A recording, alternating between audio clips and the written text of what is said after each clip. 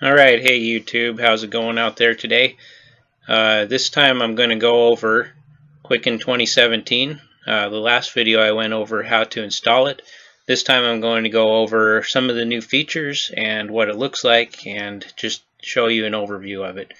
So let's go ahead and switch over to that and here we go. So I've created a demonstration file just to show you some of the features here but this is what the new Quicken looks like. Um, this is the Home tab here. If you've used Quicken in the past, you'll be pretty familiar with this. The layout is similar to previous versions, um, but they've updated the look a little bit and made things a little bit easier to, uh, to view. Now I'm using the Quicken Home and Business version here. The Home and Business version includes a Business tab here, that you won't have if you're using Deluxe or Premier. Uh, it also has a Property and Debt tab that you won't have unless you set up a home or some other property or a mortgage. The Investing tab only appears if you set up investment accounts such as a 401k and other retirement accounts or a brokerage account somewhere. So some of these tabs won't show up until you add the accounts that they apply to. Okay, so as we get on in here on the Home tab, this will show you all the spending that you've done in the last 30 days. It's the default view. Since this is a dummy account, it's not showing anything there. And then it will also show you the bills that you have each month, as well as your current budget if you've set up your budget. Over here it shows you all of the accounts that you've put in the system.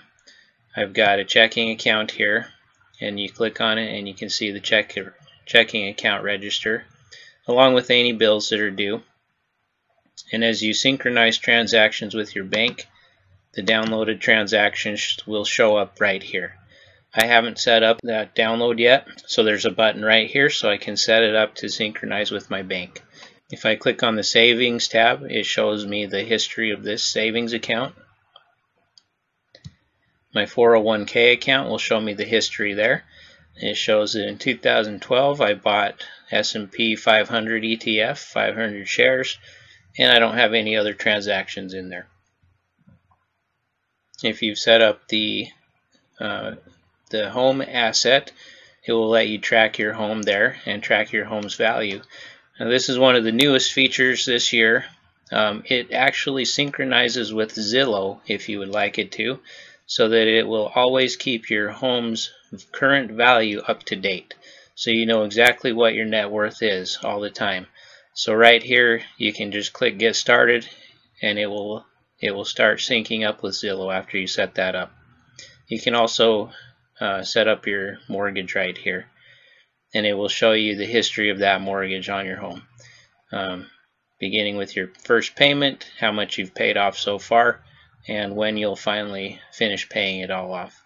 So that's the accounts here. Down at the bottom it shows you your net worth currently and your current credit score and that gets updated every month or so. Now let's go across the top and look at these tabs here. On the Home tab, like I said, this is the opening view. The Spending tab will show you a little bit more detail about your spending and the default is for the last 30 days you can change that here to, to show whichever interval you would like. So in the last 12 months, this is what my spending looked like. These were the categories that that broke down into. And then it shows you the actual transactions down here. Now on the Bills tab, this is one of the newest features of Quicken also. You can actually set up your bills online with the merchants or vendors and it will keep them updated in Quicken. So you can enter your power bill here with your power company. You can put in your mortgage, your auto loan, any other bills that you might have. You can set them up here and Quicken will keep them synced up with that person's or that business's website so that your bills are always up to date on what you owe and when they're due. It gives you the bill reminders tab here since this is a demo account, I have a lot of reminders of overdue bills. But this will show you what bills are coming up and which bills are overdue. And then it will take that billing information and project the balances of all your accounts based on your past spending habits and any bills that you have set up in here. So you can know exactly how much money you'll have a month from now um, or even 90 days from now or 12 months from now. Once again, that's only based on the bills that you have set up in the system in Quicken here and the bill reminders that you have set up and your spending habits. Let's go to the planning tab. This is a great feature and one of the reasons why people get Quicken is for the budgeting feature. Now this is the this is the first tab here under planning. This is where you can set up a budget and it will help you track how much you're spending and how much you are planning to spend.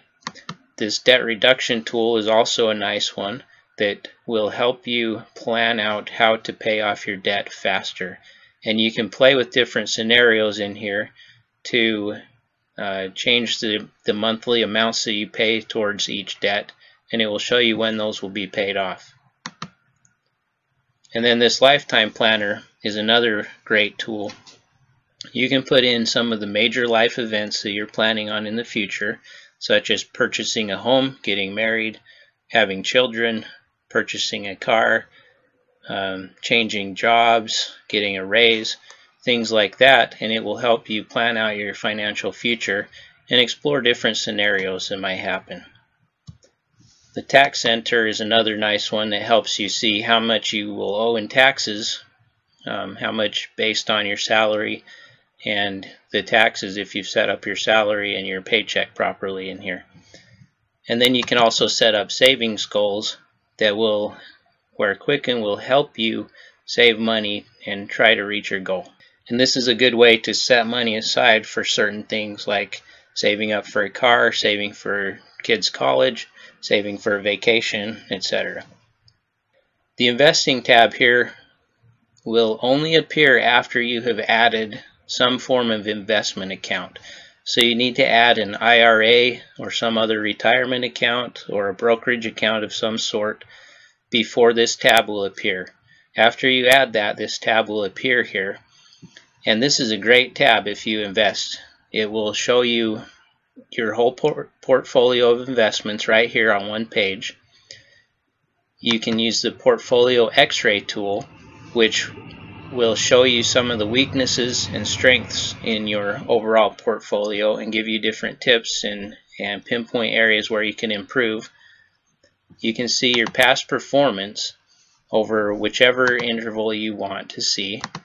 You can see how well your investments are doing. You can see the breakdown of how your investments are allocated between large cap, small cap, uh, REITs, international stocks, other classes of investments. And then this tax optimizer tab will give you tips on how to more efficiently invest and come up with strategies for how to allocate the different assets in your investment accounts. So this is another great tool if you're an investor.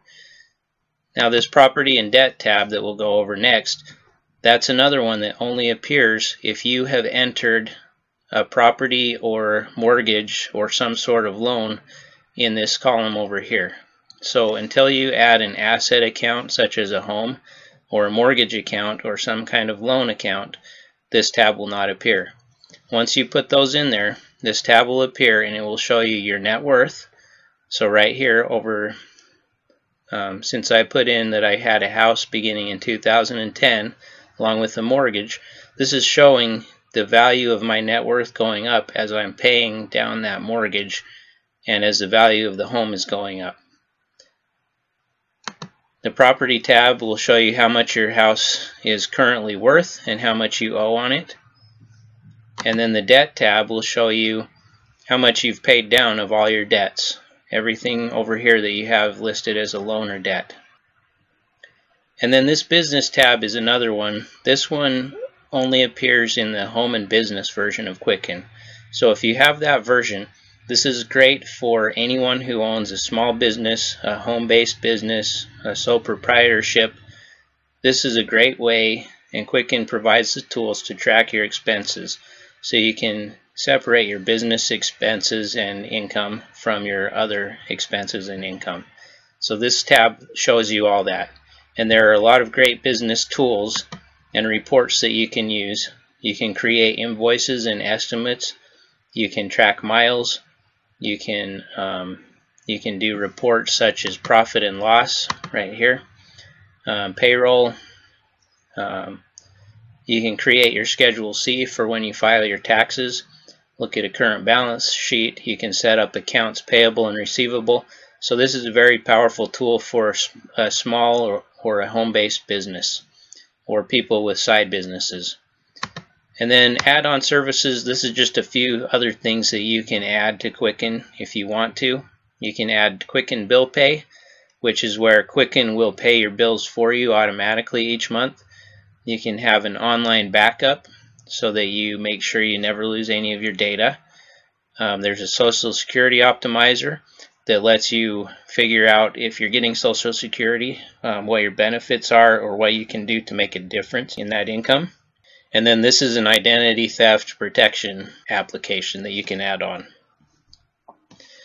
The mobile and alerts tab, this is where you, if you choose to use the mobile application on your iPhone or Android device, this is where you go to set it up. You click on get started and it will walk you through the steps to sync up your mobile device with your desktop version of Quicken. So then you can see all your transactions on your mobile phone or mobile device. You can enter transactions. You can see your investments and your current investments values and you can take pictures of receipts as you're on the go. And one of the great improvements to the mobile app this year is that it works offline also. So even if you're in a place where you're not connected to Wi-Fi or to your cellular network, you can still use the mobile app to enter transactions. And then there's a tips and tutorials tab there that will show different tips on how to use Quicken. Uh, so that in a nutshell is an overview of the newest version of Quicken, Quicken 2017. Stay tuned for the next videos where I will show you some more detail on some of these features such as how to set up a checking account, how to set up a 401k account, how to set up an asset such as a home, how to set up a loan such as a mortgage or auto loan, and how to track some of your investments. So Take care, all.